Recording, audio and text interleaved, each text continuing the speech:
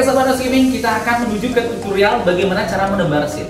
Ya, di video menebar seed kali ini saya akan menggunakan tebaran menghempaskan.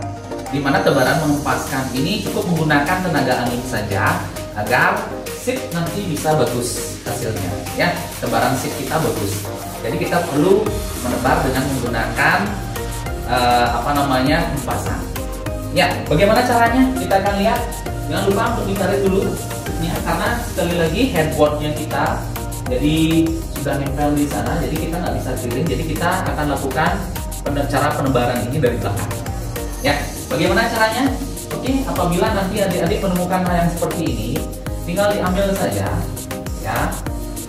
Sekali lagi ini diambil. Nah kemudian ujungnya ini dipegang ya. Sekali lagi ujung yang ini kita harus tebar ke sana ya. Contohnya seperti ini kita coba ya. Ya sekali lagi.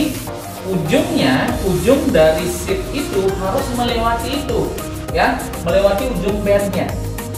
Kenapa? Agar nanti pada saat kita hempaskan dia langsung jadi. Makanya di bagian sini di bagian sini ya perhatikan di bagian sini kita akan lewat.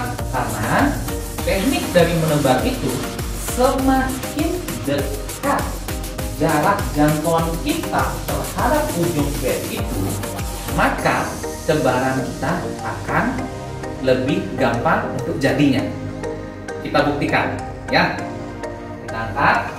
Ya, sekali lagi kita akan gunakan tenaga angin. Di sini sahabat housekeeping tidak perlu menggunakan tenaga terlalu besar. Kenapa? Karena kita sudah menggunakan tenaga angin. Contoh yang seperti ya, angin yang ada di dalam ini yang akan kita gunakan untuk menghempaskan seat yang ada di sana. Kita coba.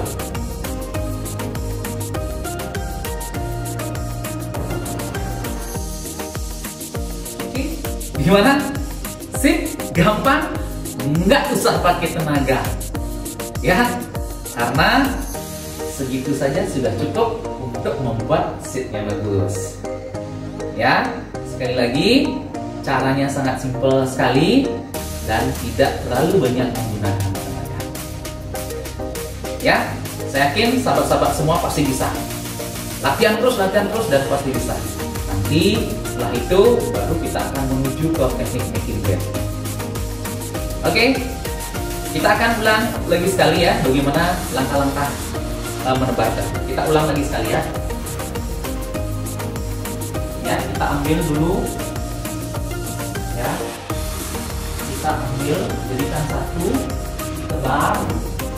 Ya, seperti ini. Ya. Kita gunakan kekuatan anginnya.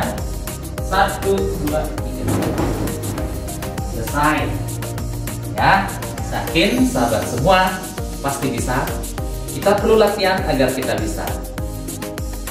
Oke, itu tutorial dari saya.